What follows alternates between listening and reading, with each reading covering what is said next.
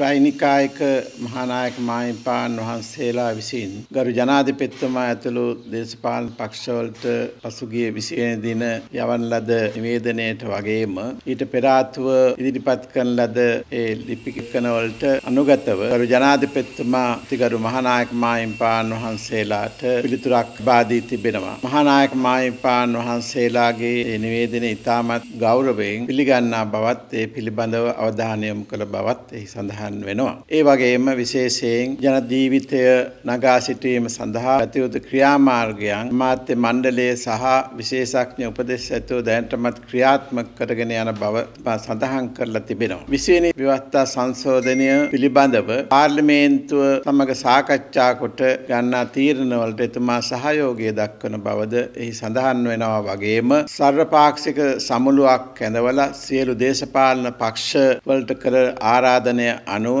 ආමාත්‍ය මණ්ඩලයට සම්බන්ධ වෙමින් සියලු පක්ෂවල ඒ නියෝජිතයන් සහ සම්බන්ධතාවය ඇතුව පාලනයක් ඇති කර ගැනීමට එතුමා දක්වන ලද අදහස් විවෘතව පවතින බව එතුමා සඳහන් කර තිබෙනවා.